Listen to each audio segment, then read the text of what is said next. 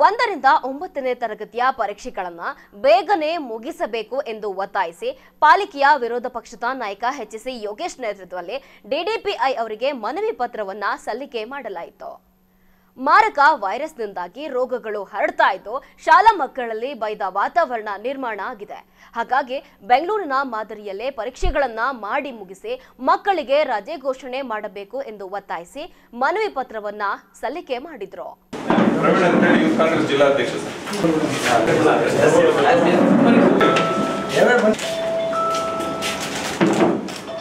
ಈಗ ನಾಡ್ದು ಜ್ಞಾನದೀಪದಲ್ಲಿ ಸಪೋಸ್ ಈಗ ನನ್ನ ಮಗಳದ್ದು ನಾಳೆ ಒಂದು ಕನ್ನಡ ಇದೆ. ನಾಡ್ದು ನಾಲ್ಕು ದಿನ ಬಿಟ್ಟು ಇದಿದೆ ಇಂಗ್ಲಿಷ್ ಅದ ಮ್ಯಾಥಮೆಟಿಕ್ಸ್ ಇದೆ. ಅದನ್ನ ಸಿ ಬಿ ಎಸ್ ನಿಮ್ಗೆ ಇದ್ರ- ಇದ್ರೊಳಗೆ ಮಾಡೋದು ಬರುತ್ತೆ? ತಿಂಗಳಲ್ಲಿ ಕರ್ನಾಟಕ ರಾಜ್ಯಾದ್ಯಂತ ಮಕ್ಕಳಿಗೆ ಪರೀಕ್ಷೆಯ ಸಮಯ. ಇದು ಯಾವ ರೀತಿ ಬಂದಿದೆ ಅಂತ ಹೇಳಿದ್ರೆ ಈ ಪ್ರತಿ ವರ್ಷವೂ ಕೂಡ ಮಾರ್ಚ್ ತಿಂಗಳಲ್ಲಿ ಈಗ ಸೆವೆಂತ್ ಸ್ಟ್ಯಾಂಡರ್ಡ್ ಆಗಿರ್ಬೋದು ಟೆಂತ್ ಸ್ಟ್ಯಾಂಡರ್ಡ್ನ ಪಬ್ಲಿಕ್ ಎಕ್ಸಾಮ್ಸ್ ಆಗಿರ್ಬೋದು, ಈ ರೀತಿ ಪರೀಕ್ಷೆಗಳು ಬಂದಾಗ ಈ ಒಂದರಿಂದ ಯೋ, ಆರನೇ ತರಗತಿ ವಿದ್ಯಾರ್ಥಿಗಳಾಗಿರ್ಬೋದು ಮತ್ತು ಎಂಟರಿಂದ ಒಂಬತ್ತನೇ ತರಗತಿ, ಎಂಟು ಮತ್ತು ಒಂಬತ್ತನೇ ತರಗತಿ ವಿದ್ಯಾರ್ಥಿಗಳಿಗೆ, ವಿದ್ಯಾರ್ಥಿ ವಿದ್ಯಾರ್ಥಿನಿಗಳಿಗೆ ಏನಾಗಿದೆ, ಬಹಳಷ್ಟು ಗ್ಯಾಪ್ಗಳನ್ನು ಕೊಡ್ತಾ ಇದ್ದಾರೆ. L K G, U K G ಮಕ್ಕಳಿಗೆ ನಾಲ್ಕು ದಿವಸ, ಐದು ದಿವಸ ಗ್ಯಾಪನ್ನು ಕೊಡ್ತಾ ಇದ್ದಾರೆ.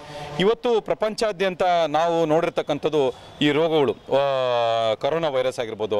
ಬೆಂಗಳೂರಿನಲ್ಲಿ ಈಗಾಗಲೇ ಕಾರ್ಪೊರೇಷನ್ ಅವರು ಕೂಡ ಡಿಕ್ಲೇರ್ ಮಾಡಿರ್ತಕ್ಕಂಥದ್ದು ಕಾಲರಾ, ಈ ರೀತಿ ಅನೇಕ ರೋಗಗಳು ಈ ಸಂದರ್ಭದಲ್ಲಿ ಬರ್ತಾ ಇರೋದ್ರಿಂದ, ಇದನ್ನು ತಡೆಗಟ್ಟೋದಕ್ಕೆ ಸರ್ಕಾರದಿಂದ ಮುನ್ನೆಚ್ಚರಿಕೆ ಕ್ರಮವಾಗಿ ಬಹಳಷ್ಟು ಕ್ರಮಗಳನ್ನು ಕೂಡ ತೆಗೆದುಕೊಂಡಿರ್ತಕ್ಕಂಥದ್ದುಂಟು ಆದರೆ ಮಕ್ಕಳಿಗೆ ರೋಗ ನಿರೋಧಕ ಶಕ್ತಿ ಕಡಿಮೆ ಇರೋದ್ರಿಂದ, ಎಲ್ಲೋ ಒಂದು ಕಡೆ ಮಕ್ಕಳನ್ನ ಶಾಲೆಗೆ ಕಳಿಸಿದಾಗ, ಮಕ್ಕಳು ಸಾಯಂಕಾಲ ಮನೆಗೆ ಬರ್ತಕ್ಕಂಥ ಸಮಯದಲ್ಲಿ ಕೂಡ ಪೇರೆಂಟ್ಸಿಗೆ ಒಂದು ಆತಂಕ ಇರ್ತದೆ. ಎಲ್ಲೋ ಒಂದು ಕಡೆ ಸಾಂಕ್ರಾಮಿಕ ರೋಗ ಎಲ್ಲರೂ ಆಡ್ತದ.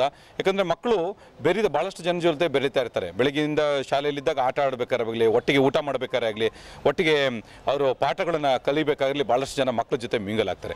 ಯಾವುದೋ ಒಂದು ವೈರಸ್ಸು ಇಂದ ಈ ಮಕ್ಕಳಿಗೆ ಬಂದಾಗ ಪೇರೆಂಟ್ಸ್ಗೂ ಕೂಡ ಆತಂಕ ಆಗ್ತದೆ. ಮುಂದೆ ನಮ್ಮ ಮಕ್ಕಳ ಭವಿಷ್ಯ ಏನು? ಮಕ್ಕಳಿಗೆ ಆತಂಕ ಎಲ್ಲಿ ಎಲ್ಲಿ ತನಕ ಪೇರೆಂಟ್ಸಿಗೆ ಬರ್ತದೆ ಅಂತ ಹೇಳಿದ್ರೆ, ಈ ಬಾ, ಈ ಸಲ ಏನಾದ್ರು ನಮ್ಮ ಮಕ್ಕಳು ಏನಾದ್ರು ಫೇಲ್ ಏನಾದ್ರು ಆದರೆ ಅಂತಕ್ಕಂಥ ಒಂದು ಆತಂಕ, ಎಲ್ಲೋ ಒಂದು ಕಡೆ ಎಕ್ಸಾಮಿನೇಷನ್ ಬರೀಬೇಕಾದ್ರೆ ಕಡಿಮೆ ಮಾರ್ಕ್ಸ್ ತೊಗೊಂಡ್ರೆ ಆತಂಕ ಇರ್ತದೆ. ಅದ್ರ ಜೊತೆಗೆ ಮಕ್ಕಳಿಗೆ ಎಕ್ಸಾಮಿನೇಷನ್ಗೆ ಕೂರಿಸ್ತಾರೋ ಇಲ್ತ, ಇಲ್ಲ ಅಂತಕ್ಕಂಥ ಆತಂಕ ಇರ್ತದೆ. ಅದೆಲ್ಲ ಒಂದು ದೃಷ್ಟಿಯಿಂದ ಇವತ್ತು ನಾವು ಡಿ ಡಿ ಪಿಗೆ ನಮ್ಮ ಎಲ್ಲ ಕಾಂಗ್ರೆಸ್ನ ಕಾರ್ಪೊರೇಟರು ಹಾಗೂ ನಮ್ಮ ಎಲ್ಲ ಯುವ ಕಾಂಗ್ರೆಸ್ನ ಮುಖಂಡರುಗಳು ಡಿ ಡಿ ಪಿಗೆ ಒಂದು ಲೆಟರ್ ಕೊಟ್ಟಿದ್ದೀವಿ.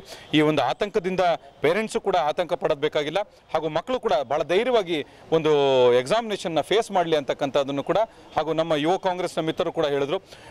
ಎಲ್ಲ ಕಡೆನೂ ಕೂಡ ಒಂದಷ್ಟು ಆಂಬುಲೆನ್ಸ್ ವ್ಯವಸ್ಥೆ ಹಾಗೂ ಫಸ್ಟ್ ಏಡ್ ವ್ಯವಸ್ಥೆ ನಿಮ್ಮ ಎಕ್ಸಾಮಿನೇಷನ್ ಸೆಂಟ್ರಲ್ಲಿ ಕೂಡ ಮಾಡಿರಿ ಅಂತಕ್ಕಂಥದ್ದನ್ನು ಕೂಡ ಹೇಳಿದರೆ ಆ ಎಲ್ಲ ಸಲಹೆಗಳು ಕೂಡ ಡಿ ಡಿ ಪಿ ಅವರಿಗೆ ನಾವು ಕೊಟ್ಟಿದ್ದೀವಿ. ಡಿ ಡಿ ಪಿ ಅವರು ಮುಂದಿನ ದಿನಗಳಲ್ಲಿ ಇಂಪ್ಲಿಮೆಂಟ್ ಮಾಡ್ತೀವಿ ಅಂತ ಹೇಳಿದ್ದಾರೆ.